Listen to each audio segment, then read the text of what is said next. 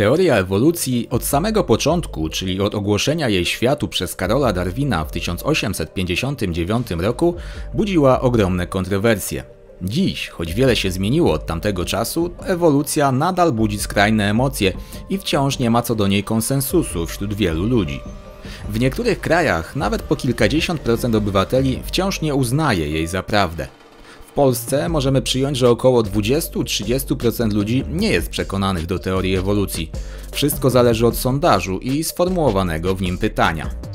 Natomiast w świecie nauki istnieje zgoda. Badacze, a zwłaszcza biolodzy, w przytłaczającej większości twierdzą, że teoria ta jest prawdziwa i dobrze opisuje rzeczywistość, podobnie jak teoria względności oraz inne teorie atomowa, kwantowa czy heliocentryczna.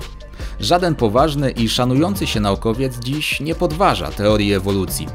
Dyskutuje się jedynie nad jej precyzyjnym kształtem, jej mechanizmami i wieloma szczegółami, ale nie nad jej ogólną zasadą. Skąd zatem ta rozbieżność, pewność wśród naukowców i niepewność wśród zwykłych ludzi? Na jakiej podstawie naukowcy uznają ewolucjonizm za teorię prawdziwą, a może po prostu się mylą? Jakie mają dowody i czy są one wystarczające, by uznać, że człowiek pochodzi od małpy? Jakie argumenty wysuwają zwolennicy, a jakie przeciwnicy teorii ewolucji? O tym w dzisiejszym odcinku. Zapraszam.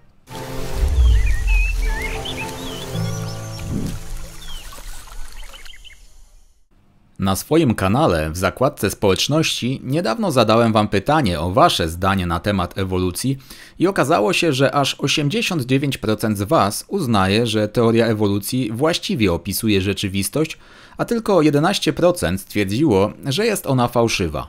W sondażu udział wzięło 5,5 tysiąca osób, więc próba jest znaczna i miarodajna.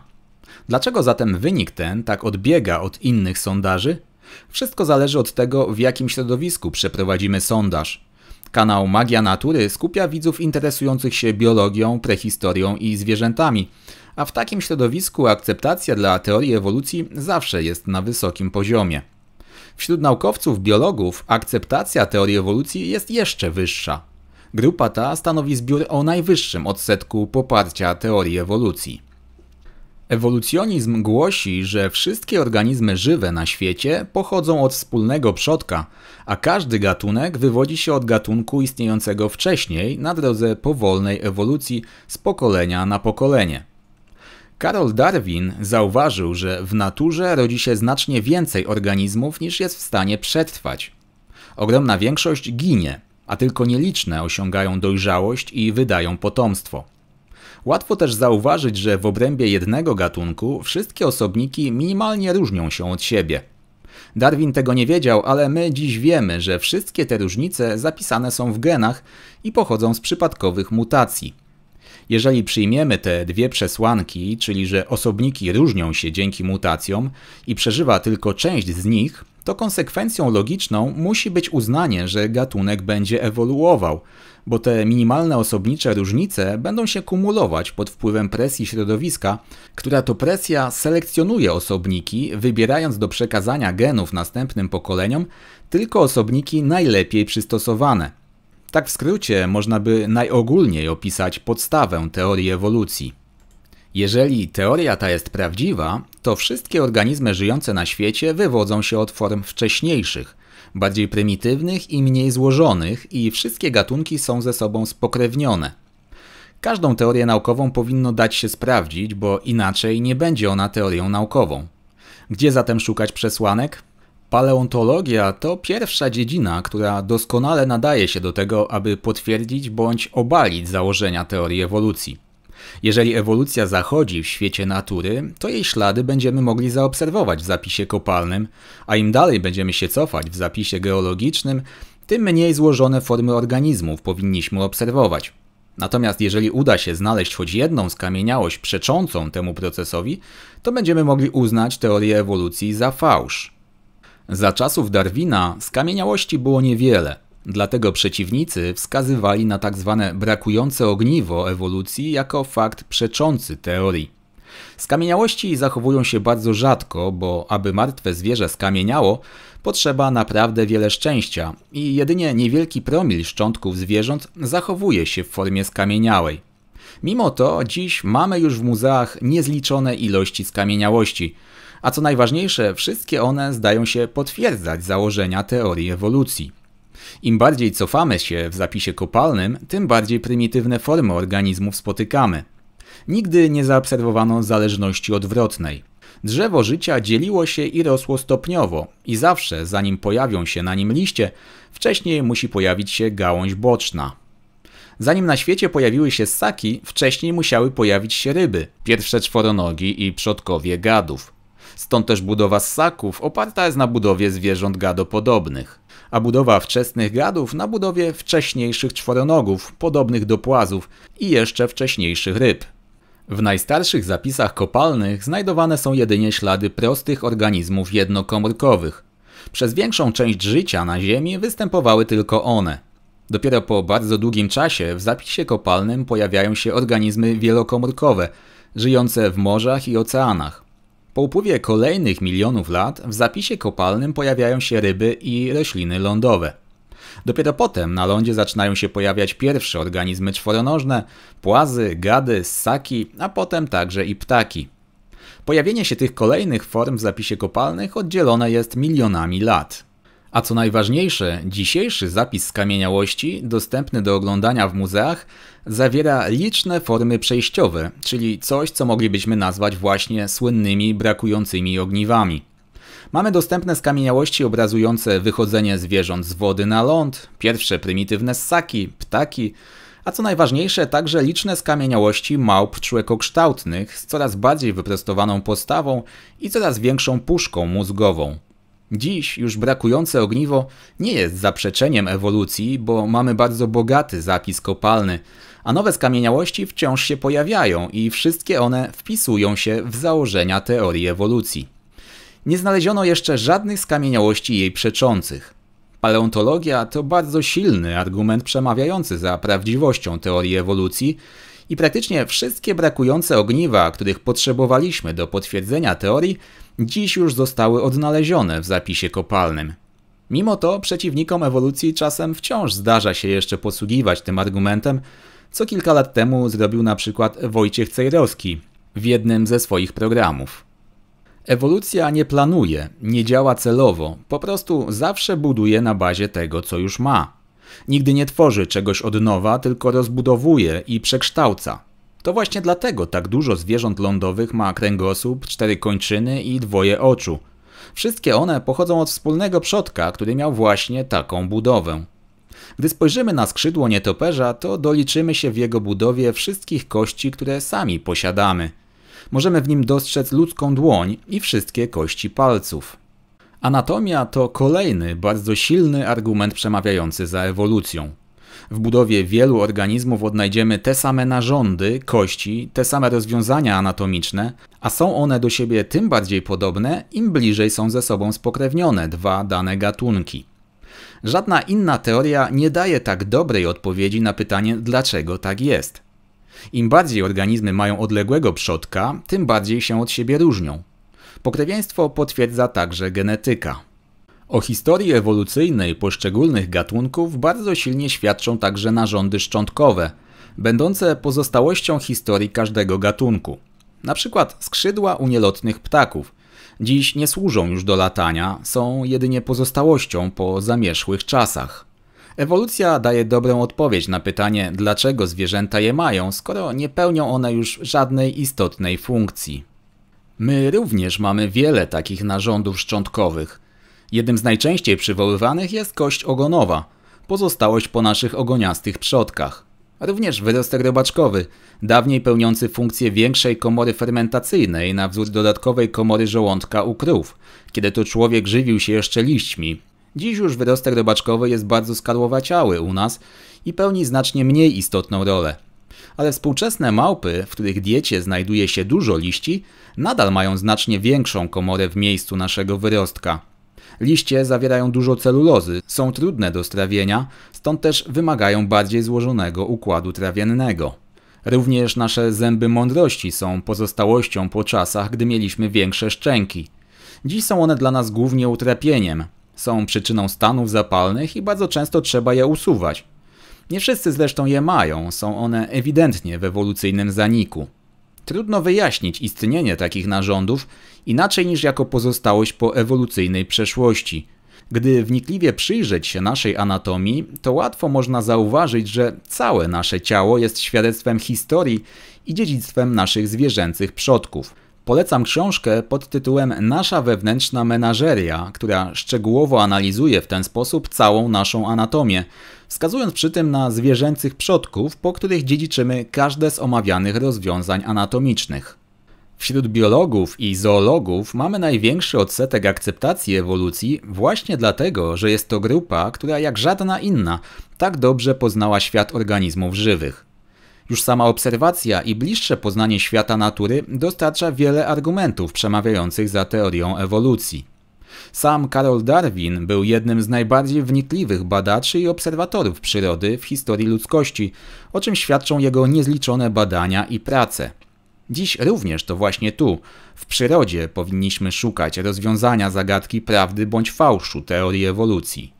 Bardzo ciekawego argumentu na rzecz teorii ewolucji dostarcza nam geograficzne rozmieszczenie gatunków na Ziemi. Gdy spojrzymy na mapę życia na poszczególnych kontynentach, to zauważymy dziwne zależności. Najbliżej spokrewnione i najbardziej podobne do siebie są te organizmy, które zostały stosunkowo niedawno oddzielone od siebie barierami geograficznymi, takimi jak przykład morza, oceany czy góry. Natomiast im dana bariera powstała dawniej, tym podzielone przez nią gatunki są bardziej od siebie oddalone pod względem pokrewieństwa. Poza tym zauważymy też, że odległe wyspy niemal całkowicie składają się z gatunków endemicznych, czyli nie występujących nigdzie indziej na świecie, mimo iż środowisko panujące na tych wyspach jest niemal takie samo jak w innych miejscach na świecie. Najdziwniejsze jest jednak to, że na wielu takich wyspach jest całkowity brak ssaków, płazów czy gadów, tak jak na przykład na Nowej Zelandii. Na Galapagos natomiast nie ma żadnych ssaków i płazów. Teoria ewolucji daje nam proste wyjaśnienie takiego stanu rzeczy. Oddzielone miejsca świata sprzyjają odrębności ewolucyjnej, a początek ich linii dały te zwierzęta, które jako pierwsze dostały się na nowo powstałe wyspy. Pierwsze na wyspach wulkanicznych, np. na Galapagos, zaraz po ich powstaniu i wyłonieniu się z oceanu, co miało miejsce całkiem niedawno w skali geologicznej, pojawiają się rośliny, potem ptaki i owady. I to one dały początek nowym gatunkom na wyspach i dlatego dziś to one występują tam najliczniej. Pierwsze pojawiają się rośliny, których nasiona przenosi wiatr.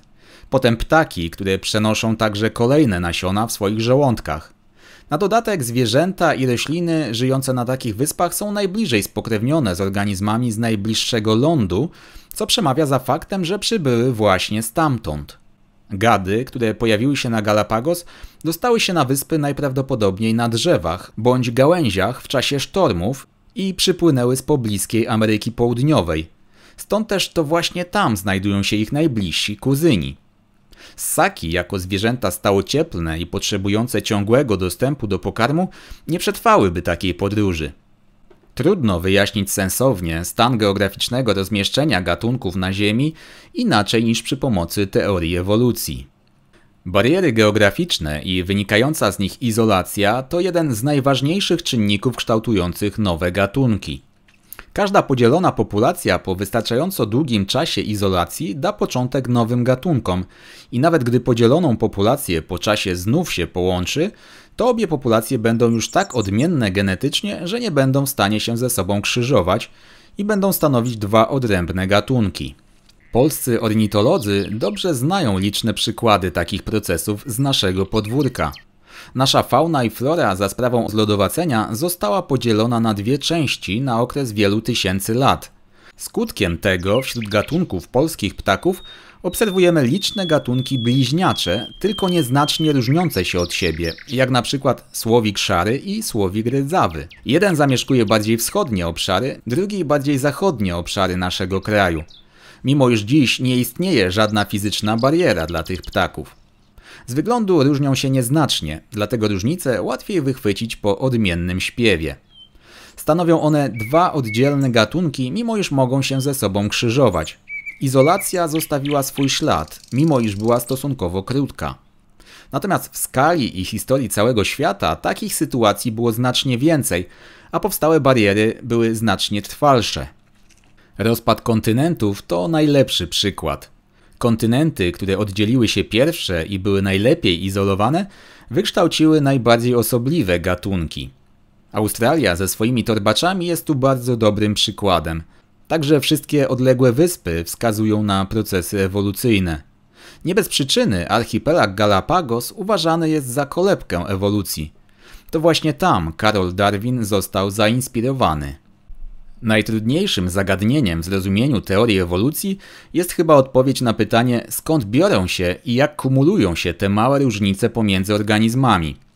Odpowiedzią są tu oczywiście mutacje, które powstają przypadkowo podczas kopiowania komórek.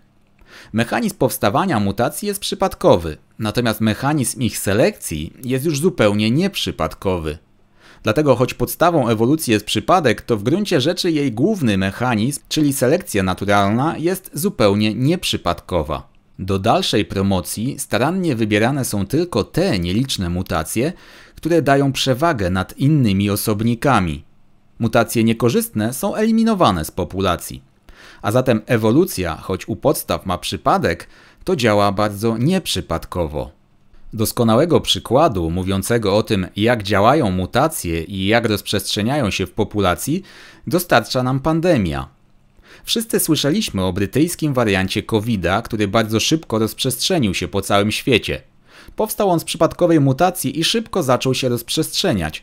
Dlaczego? Z prostej przyczyny. Zmutowany wirus był bardziej skuteczny od formy wcześniejszej. Był bardziej zakaźny i o kilkadziesiąt procent łatwiej przenosił się na inne osoby. Dlatego zaczął szybko się rozprzestrzeniać i wypierać starszą wersję wirusa. Tam, gdzie stary wirus nie powodował zakażenia, nowy je powodował. Był lepszy i skuteczniejszy, i selekcja naturalna stopniowo sprawiała, że to on szybciej namnażał się w środowisku. Łatwo sobie wyobrazić, że może dojść do kolejnych mutacji, na przykład do takiej mutacji, która dawałaby wirusowi odporność na szczepionki. Tak zmutowany wirus, gdyby był wariantem brytyjskim, to na dodatek byłby odporny na szczepionki i zapewne znów bardzo szybko podbiłby cały świat. Miejmy nadzieję, że nie dojdzie do takiej mutacji. Musimy pamiętać, że mutacje kumulują się. Tak właśnie działa ewolucja, a czas, którym dysponuje, jest ogromny. Na długiej przestrzeni czasu można zbudować tak złożone formy jak żyjące współcześnie organizmy, nawet z tak drobnych i wydawałoby się mało istotnych różnic. Potrzeba jednak na to milionów lat. Ludzkie życie jest za krótkie, aby zaobserwować pełne działanie tego procesu. Jednak nawet w trakcie naszego krótkiego życia możemy dostrzec początkowy proces powstawania nowych gatunków. Hodowcy psów, gołębi czy ryb akwariowych doskonale o tym wiedzą. Za naszego życia pojawiają się nowe rasy, z tą tylko różnicą, że tutaj zamiast doboru naturalnego działa dobór sztuczny. Tutaj selekcjonuje człowiek, a nie natura. O tym, co ten proces może stworzyć, mówi nam różnorodność form hodowlanych. Krowy, świnie, ptaki, psy, warzywa i owoce hodowane przez ludzi od wieków zmieniły się tak bardzo, że w wielu przypadkach nie przypominają już form dzikich, od których przecież się wywodzą. Nowe rasy i odmiany to zaczątki nowych gatunków. Wszystkie rasy psów zostały przecież wyhodowane prawdopodobnie z dzikiego wilka szarego. Jak bardzo się od siebie różnią, widać gołym okiem. Łatwo sobie wyobrazić, co proces ten może stworzyć na przestrzeni milionów lat, skoro tak znaczne różnice stworzył w kilkaset czy kilka tysięcy lat. Wielki kanion w Ameryce również powstał w bardzo powolnym procesie. Aż trudno uwierzyć, że rzeka Colorado zdołała wyrzeźbić tak potężny kanion. A jednak, góry wypiętrzają się, kontynenty oddalają się, rosną nawisy skalne w jaskiniach, wszystko to wiemy i akceptujemy, mimo iż dzieje się to tak wolno, że nie sposób tego dostrzec w przeciągu krótkiej chwili, jaką jest w porównaniu z istnieniem naszej planety ludzkie życie. Czas jest kluczem do zrozumienia tych procesów. Dostrzeżenie i zrozumienie procesu ewolucji nie jest łatwe i dlatego teoria ta pojawiła się tak późno w historii ludzkości. Do tego może się wydawać, że godzi ona w naszą ludzką godność, bo wskazuje na nasz zwierzęcy rodowód. Stąd też opór i lęk przed teorią ewolucji. Napór argumentów potwierdzających teorię ewolucji jest jednak tak duży, że dziś już trudno jest ją podważyć. Dziś nawet Kościół katolicki nie przeciwstawia się ewolucji. Wielokrotnie dali o tym znać najwyżsi hierarchowie Kościoła, włączając w to papieży, w tym Jana Pawła II. Wielu wierzących akceptuje teorię ewolucji, zakładając, że jest to proces, którym posłużył się Stwórca, tworząc organizmy żywe i człowieka. A zatem wiara nie musi być przesłanką przeciw teorii ewolucji. Wielu wierzących jest zdania, że ewolucjonizm i wiara dają się ze sobą pogodzić. Wiele obiekcji przeciw ewolucji bierze się też z niedokładnej znajomości i niedokładnego zrozumienia tej teorii. Często można spotkać się z pytaniami, na przykład czemu niektóre zwierzęta nie zmieniły się od milionów lat, jak na przykład słynna Latimeria, ryba, która jest starsza od dinozaurów, a nie zmieniła się od tamtych zamieszłych czasów. Ewolucja zatem nie zachodzi, twierdzą, nie zdając sobie sprawy, że tempo ewolucji poszczególnych gatunków jest różne. Wiele zwierząt żyje od milionów lat dokładnie w tej samej niszy, która się nie zmienia, więc i one nie mają podstaw, by się zmieniać. Nie ma presji selekcyjnej, to i nie ma wyraźnych zmian. Nie zmienia to jednak faktu, że być może przez ten czas z tych grup wyodrębniły się jakieś inne nowe gatunki. Na przykład krokodyle i żółwie również nie zmieniły planu swojej ogólnej budowy od czasów dinozaurów, ale w ich obrębie powstało w tym czasie wiele nowych, ciekawych gatunków. Wszystko zależy od presji środowiska. Ciekawy, aczkolwiek dość pokrętny sposób rozumienia teorii ewolucji można spotkać także u niektórych zwolenników ewolucji, którzy mówią: Teoria ewolucji jest prawdziwa, ale dotyczy tylko zwierząt, a nie człowieka. Często można spotkać taką opinię, a pokazuje ona, jak trudny do zaakceptowania jest nasz zwierzęcy rodowód. To wybiórczy sposób rozumienia teorii ewolucji. Po prostu wybiera się z niej to, co jest łatwiejsze do zaakceptowania. Inni z kolei mówią, człowiek nie pochodzi od małpy, lecz ma jedynie z małpami wspólnego przodka. To z kolei by wskazywało na trudność w zaakceptowaniu naszego pochodzenia od takich stworzeń jak małpy, które często uznawane są za karykaturę człowieka. Zwrot ty małpo jest przecież popularną obelgą, a teoria ewolucji mówi niemal dokładnie to samo, tyle że językiem naukowym, więc ludzie odbierają ewolucjonizm jako obelgę. Nic więc dziwnego, że wiele osób pod żadnym pozorem nie chce zgodzić się na takie postawienie sprawy. Pewne jest natomiast to, że człowiek nie pochodzi od małp współczesnych, takich jak szympansy, orangutany czy goryle. One są jedynie naszymi kuzynami, z którymi tutaj zgoda, mamy wspólnego przodka. Ale kim był ten nasz wspólny przodek? Oczywiście był także małpą. Nie współczesną, ale małpą. A zatem zarówno mamy z małpami wspólnego przodka, jak i pochodzimy od małp i zwierząt małpokształtnych. Mało tego, w systematyce biologicznej wciąż jesteśmy małpami.